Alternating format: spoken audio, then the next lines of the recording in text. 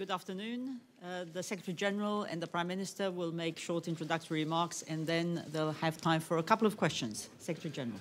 Prime Minister, uh, dear Charles, it's uh, great to have you back here at the NATO headquarters and uh, it's also a great honor for me to be able to receive you here uh, because uh, Belgium has been so instrumental in constructing and building this building.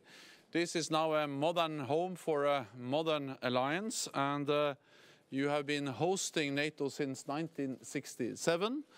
Uh, but now you are not only hosting NATO, but also hosting NATO in this very beautiful and stunning uh, building. Um, we have uh, uh implemented or we have conducted the move and uh, now uh, 4,000 people, more than 4,000 people work uh, in this uh, building. And we are very pleased with the fact that we have been able to move in and start to work in, in the new headquarters.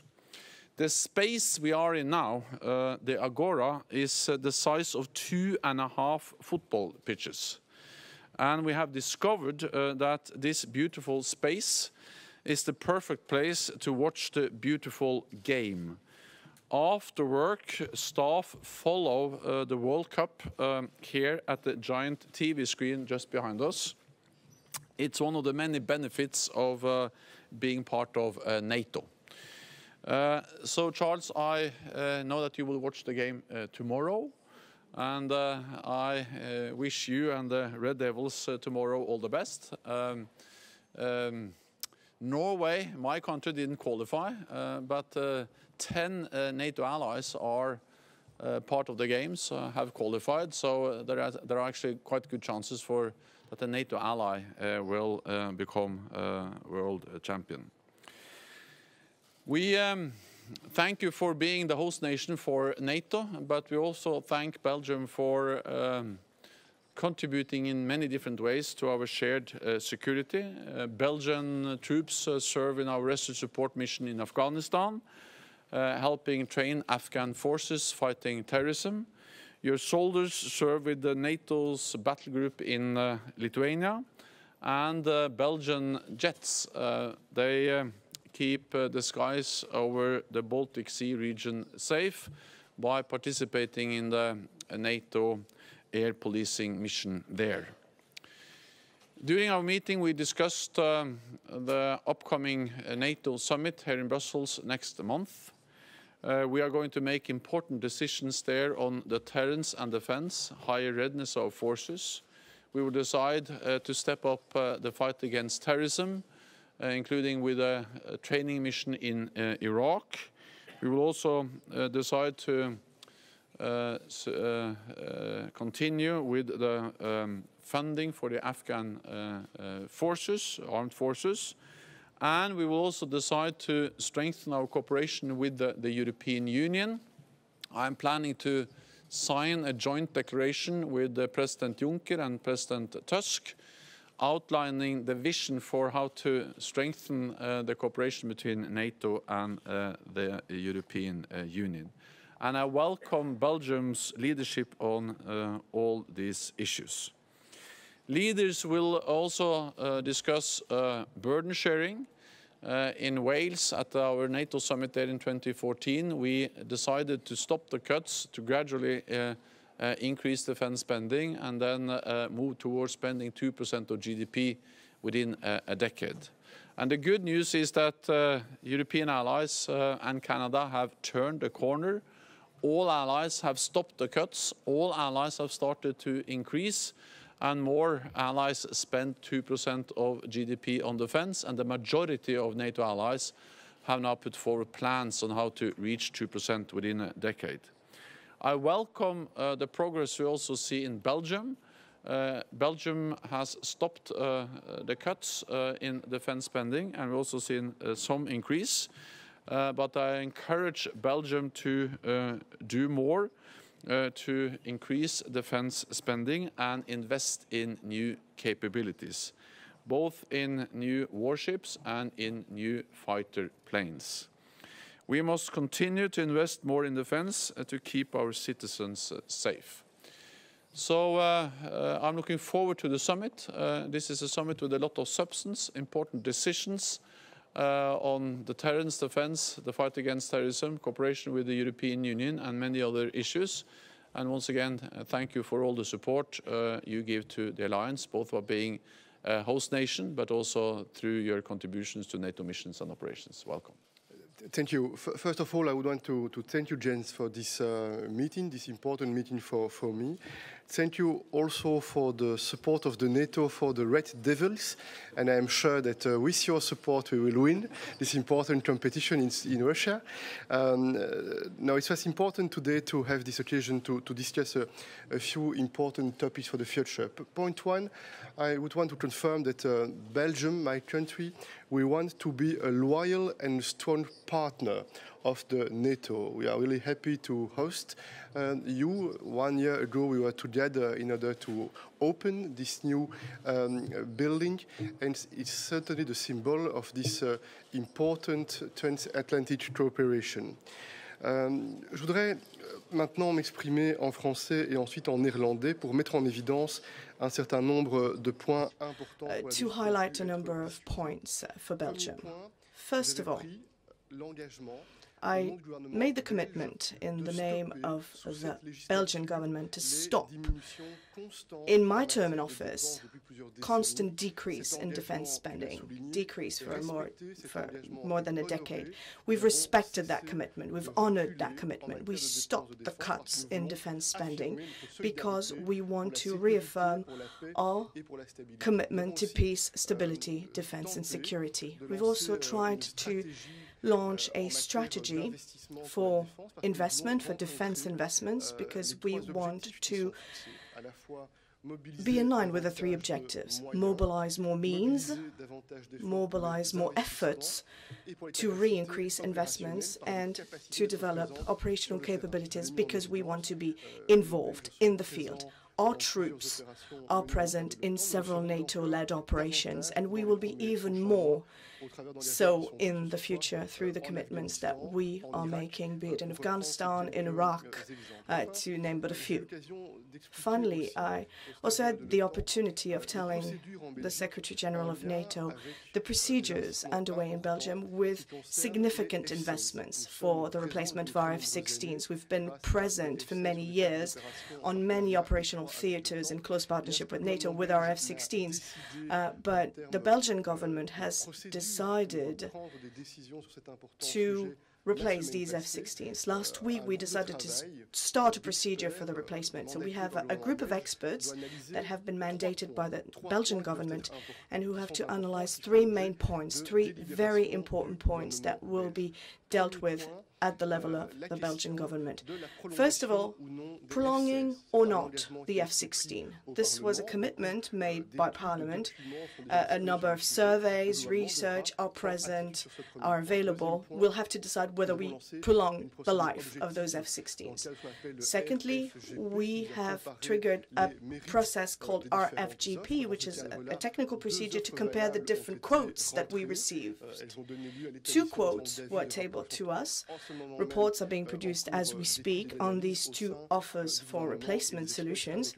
Uh, the government is reviewing those, our experts are reviewing those. And outside of that procedure with the two quotes, there is a French proposal that we've received and that has put on the table the possibility of a strategic partnership with Germany. And that proposal is also under review at the government as we speak.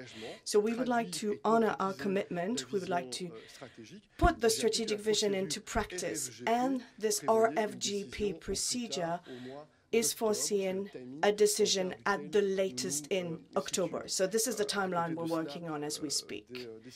Next to that, decisions in principle are being made now for maritime investment, new frigates, for instance. We're also looking at the acquisition of drones or armored rolling stock. Partnership is already underway with France, for instance, on this particular issue. Een manier voor mij, dus een manier voor mij om een duidelijke boodschap eh, met de secretaris secretaris-generaal van de NAVO te delen. Uh, en dat betekent dat uh, de procedure dat we in de schooladministratie vorige week hebben bevestigd, een mandaat gegeven aan de werkgroepen om drie punten te bekijken, om desgevallend daarna de kans te geven aan de regering beslissingen te nemen. Eerste punt, de optie van de niet-verlenging van de F-16 of de verlenging van de F-16. We hebben daar heel veel informatie gekregen, heel veel debatten in het parlement gehad daarover, maar we moeten nog dit punt in de Schoolministerraad bekijken, punt 1.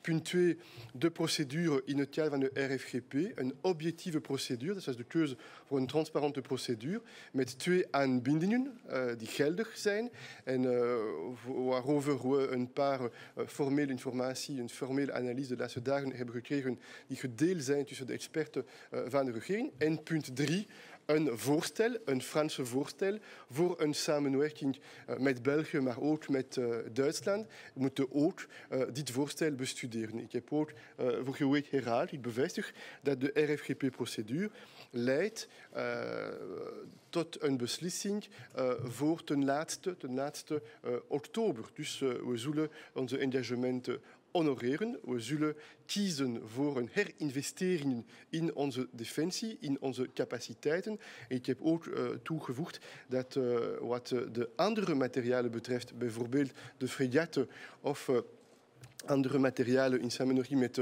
Frankrijk, we belangrijke stappen hebben al gemaakt om geloofwaardig, om geloofwaardig te zijn en om onze woorden te respecteren.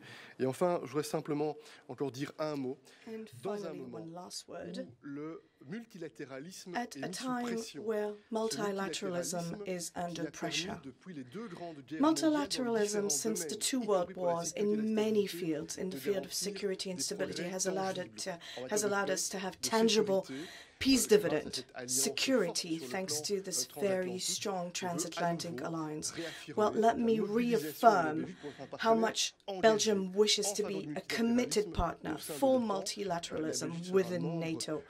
Belgium will be a member of the Security Council of the United Nations between 18 and 20, 2018 and 2020, and in many issues pertaining to security, sustainable development, climate change, stability, fight against poverty. In all these areas, we will have a word to say.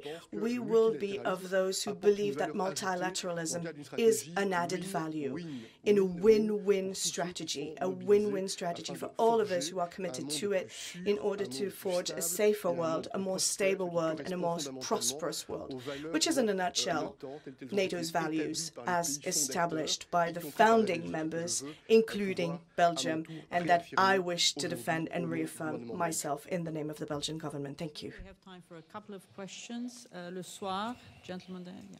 Uh, thank you, Philippe Regnier, Journal Le Soir. I have a question for the Secretary General um, regarding the, the future uh, declaration EU-NATO.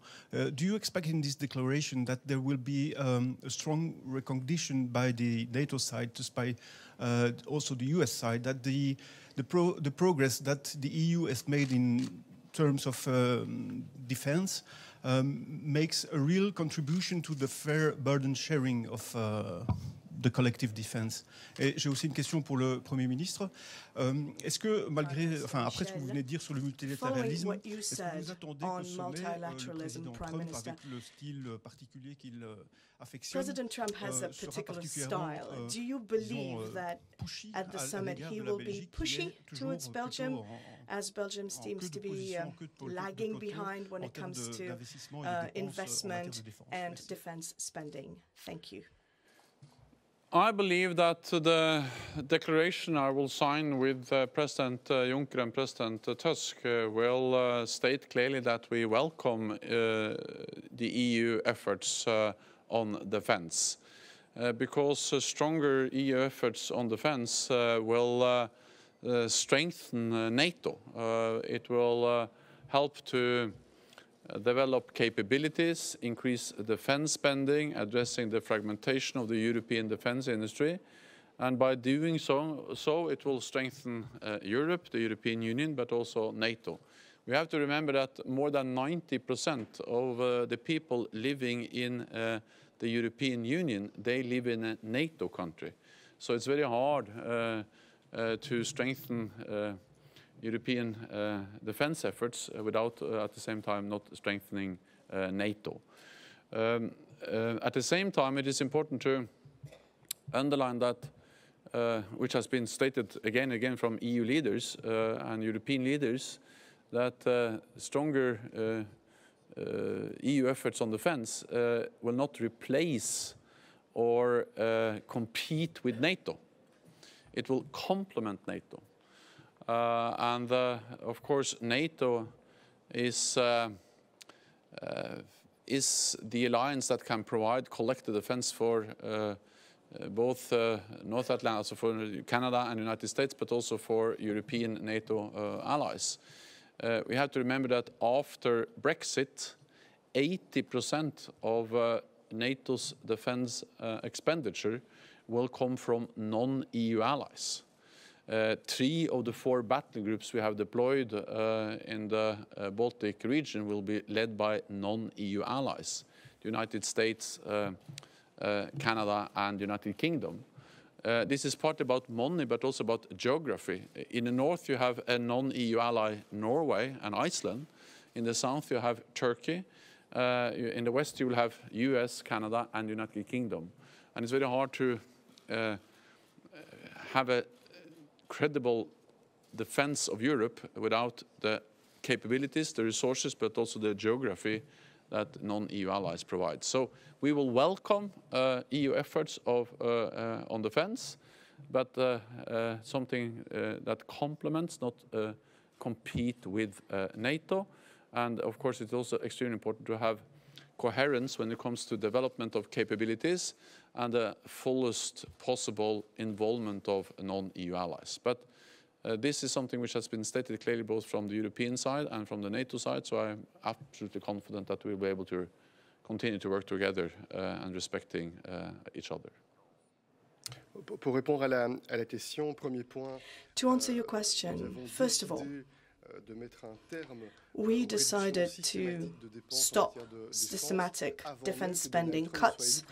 Even before Donald Trump was elected US president, it was an agreement at the level of my government to relaunch a defense strategy to re-enhance our security and to be a reliable NATO partners, partner. And when, look, when you look at the metrics, there's three important metrics.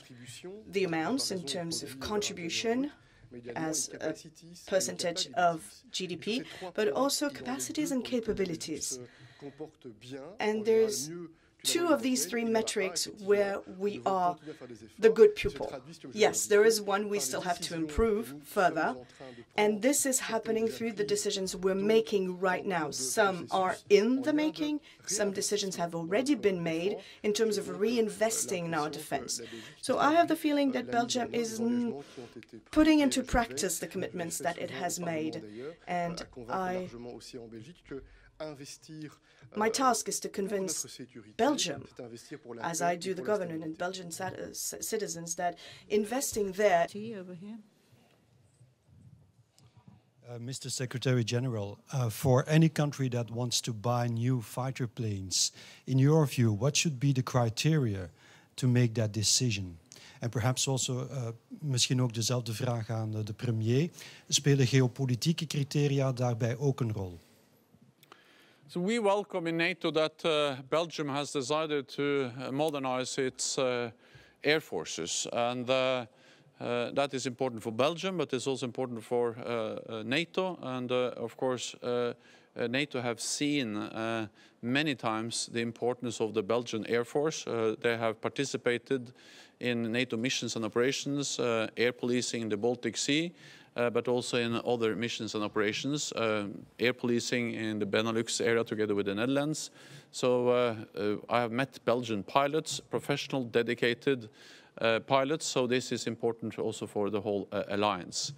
What is important for NATO is that, the, that Belgium acquires new, modern, capable uh, planes which are interoperable with uh, the NATO systems and other NATO air forces.